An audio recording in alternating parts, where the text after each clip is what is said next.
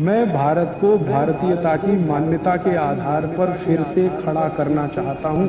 उस काम में लगा उस काम में लगा जो हो रहा है अच्छा हो रहा है, आगे होगा, और भी अच्छा होगा। तुम क्यों व्यर्थ चिंता करते हो? तुम क्या लाए थे? क्या ले जाने वाले हो? ये दूसरा रास्ता है। हाँ? और इस रास्ते पर हमको भटकाने वाले दस बीस नहीं है, सैकड़ों लोग हैं। रोज आते हैं और माला पकड़ा देते हैं कि राम राम राम राम, राधे राधे राधे राधे, राम राम राम राम, राधे राधे, बस यही करो, देश तो ठीक हो जाएगा। और ज़्यादा उनसे तर्क करो तो कहने लगे, तुम क्यों व्यर्थ चिंता करते हो? तुम क्या लाए थे? क्या ले जाओगे? जो हो रहा है अच्छा हो रहा है। देश लुट रहा है अच्छा हो रहा है। आगे लुटेगा, और अच्छा होगा। वो हमको समझाते हैं। और इसी को धर्म कहते हैं। इसी को धर्म कहते हैं। और आजकल धर्म के व्यापार करने वालों की बाढ़ आई हुई है। हाँ, बहुत बड़ी फौज खड़ी हुई है उनकी।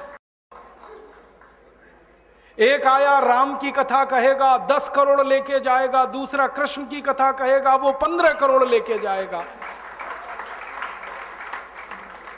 और आप जैसे भोले भाले मूर्ख लोग डालते हैं उनके पात्रों में, ले जा भाई। ये बापू नहीं है, डाकू है। बापू नाम तो शर्म आती है कहते हुए। कहीं से दस करोड़ लूटो, कहीं से बीस करोड़, कहीं से पच्चीस करोड़। और आप लोगों की मजबूरी है कि काले धन का करें क्या? इनकम टैक्स वाले पकड़ते हैं तो ये बापुओं को देते रहते हो आप। क्या करें उसका? और ये बाप लोग हमें सिखाते रहते हैं, जो हो रहा है अच्छा हो रहा है, वाह वाह। मैंने देखा है क्या क्या पाखंड और नौटंकी चलता है। भगवान राम की कथा कहने आते और भगवान राम की ज़िंदगी के वो प्रसंग कभी नहीं सुनाते, जो हम में वीरता पैदा करें, जो साहस पैदा करें। राम की ज़िंदगी में बहुत सारा हिस्सा साहस का है, वीरता का है। जब चौदह वर्ष के लिए वनवास चले गए राम तो हमको सुनाई जाती है राम की जो कथा ना, उसमें कहते हैं, राम ने चौदह साल एक ही काम किया। हाय सीते, हे सीते, हाय सीते, हे सीते, हाय सीते। ये सुनाते हैं हमको। हाँ यही सुनाते हैं निकाल के कहानी में से। और मैं कहता हूँ कि राम को अगर हाय सीते, हे सीते, हाय सीते, यही करना था चौदह साल तो दूसरा विवाह क्यों नहीं कर लिया? सैकड़ों राजा तैयार थे अपनी राजकुमारियों को राम को देने के लिए, वो तो कर लेते दूसरा विवाह। क्योंकि हाय सीते, हे सीते, हाय सीते, हे सीते, एक स्त्री के लिए अगर वो इतने ही बिलख रहे थे, तड़प रहे थे, दूसरा विवाह कर लेते तो ये सब चुप हो जाते हैं फिर फिर बात नहीं करते। फिर मैं उनको रामायण से निकाल के दिखाता हूँ। देखो, राम ने, हे सीते, हाय सीते, कहा नहीं कहा? ये मुझे नहीं मालूम। लेकिन चौदह साल वन में रहते हुए सैकड़ों राक्षसों का संहार किया उन्होंने, मारा उनको और धर्म राज्य की स्थापना कराई। ये कहानी नहीं सुनाते, क्योंकि इससे वीरता पैदा होती है। तो राम का जो वीरत्व है, वो नहीं सुनाएँगे आपको। उनकी जो कमजोरियाँ हैं, वो सुनाते हैं आपको। और राम कथा जब वर्णन की जाती है तो मंच पे बैठ के, आह, कैसे आँसू, ढलल ढलल आँसू निकलेंगे, आपको भी रुलाएँगे, खुद भी रोएँगे, किस बात के लिए? हो राम को वन गमन में इतना कष्ट हो रहा है, वन में इतनी तकलीफें हो रही हैं तो राम की तकलीफों का वर्णन कर रहे हैं, आँसू आ रहे हैं, और ये सारा वर्णन एयर कंडीशनड मंच पर बैठकर होता है। अपने को तकलीफ़ नहीं होनी चाहिए, राम की तकलीफों का वर्णन कर। एयर कंडीशन मंच चाहिए, एयर कंडीशन घर चाहिए रहने के लिए, एयर कंडीशन कार चाहिए और चार्टेड प्लेन चाहिए आने और जाने के लिए, तब राम की कथा सुनाई जाएगी। जो राम ज़िंदगी भर पैदल चलते रहे, जिन्होंने अपना रथ भी छोड़ दिया था अयोध्या से निकलते समय वो राम ने ज़िंदगी भर पैदल चल के काम किया और यहाँ एयर कंडीशन कारों में घूम घूम कर चार्टेड प्लेन में घूम घूम कर राम की कथा सुनाते हैं। वो कथा वथा नहीं है, वो उद्योग है, व्यापार है, बिना टैक्स का। और मुझे बहुत शर्म है ये कहते हुए समय आने पर प्रमाण से बात करूँगा कि राम कथा कहने वाले ब्लैक मनी को व्हाइट मनी करने के काम में लगे हुए एजेंट हैं और इससे ज़्यादा कुछ नहीं। और मुझे इससे भी बड़ी शर्म आती है कहते हुए कि आप जो उनको दे रहे हैं दान के रूप में, वो पैसा ब्याज पर उठा रहे हैं, वो दूसरे लोगों को और आपके दिए हुए पैसे से धंधा बना रहे हैं अपना। फिर ऐसे ही कृष्ण की कथा कहने वाले आ जाते हैं। कहते, राधे राधे राधे राधे राधे राधे, और कुछ कहो ही मत, राधे राधे। कंस को मारा, जरासंध को मारा, शिशुपाल को मारा, अधर्मियों को मारा, ये सब थोड़े में। राधे राधे राधे राधे, बड़े में।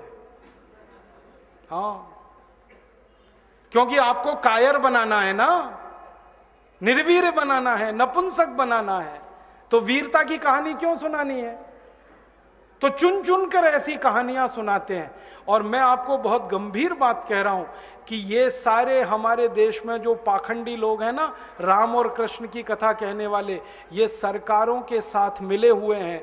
क्योंकि सरकारों ने इनको एक कान में मंत्र फूका है, तुम लोगों का ध्यान इस तरफ़ भटकाते रहो ताकि कोई महँगाई के खिलाफ लड़े, गरीबी के खिलाफ न लड़े, बेरोजगारी के खिलाफ न लड़े, अत्याचार के खिलाफ न लड़े। वो डूबा रहे, राधे राधे राधे राधे, राम राम राम राम, बस इसी में। और समझाते रहो, तुम क्या लाए थे, तुम क्या ले जाओगे, क्यों व्यर्थ चिंता करते हो? जो हो रहा है अच्छा हो रहा है, आगे होगा, और भी अच्छा होगा। एक रास्ता ये है। अब दो रास्ते हैं अपने सामने। एक रास्ता भगत सिंह का, ऊधम सिंह का, चंद्रशेखर का। एक रास्ता हमारे ये धर्म गुरुओं का, पाखंडियों का, जो राम की कथा, कृष्ण की कथा। मुझे बहुत ऑफ़र आए हैं, मैं आपको दिल का दर्द बता रहा हूँ। सच में कह रहा हूँ, आपसे नाम नहीं लेता।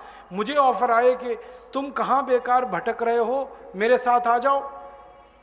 मैंने कहा, बापूजी, क्या होगा उसमें? तो कहने लगे, जितना मिलता है वो डबल हो जाएगा।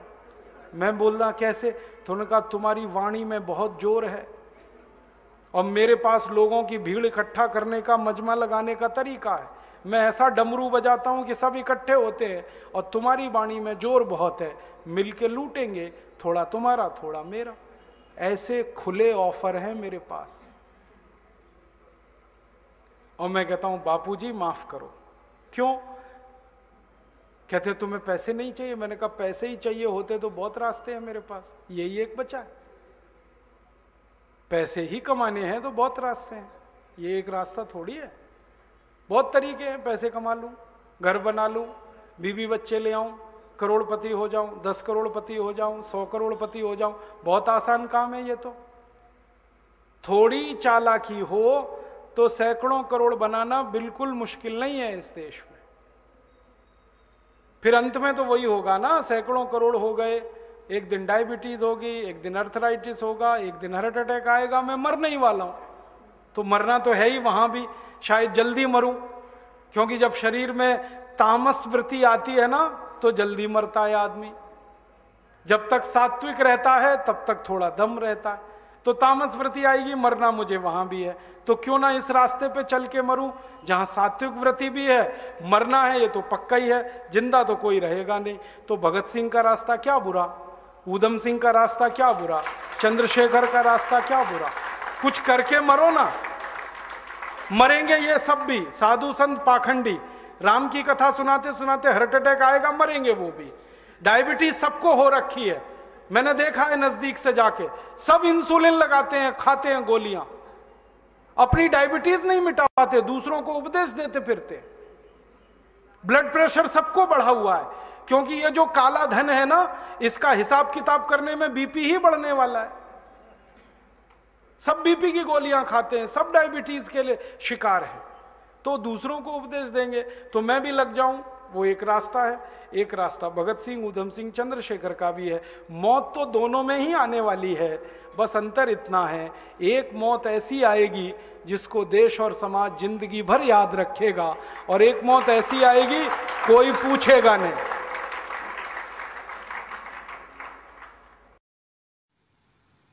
दोस्तों, सबसे पहले तो चैनल सब्सक्राइब करें, फिर लाइक, कमेंट और शेयर करें। और हाँ हमारा एंड्रॉयड ऐप डाउनलोड करना ना भूलें।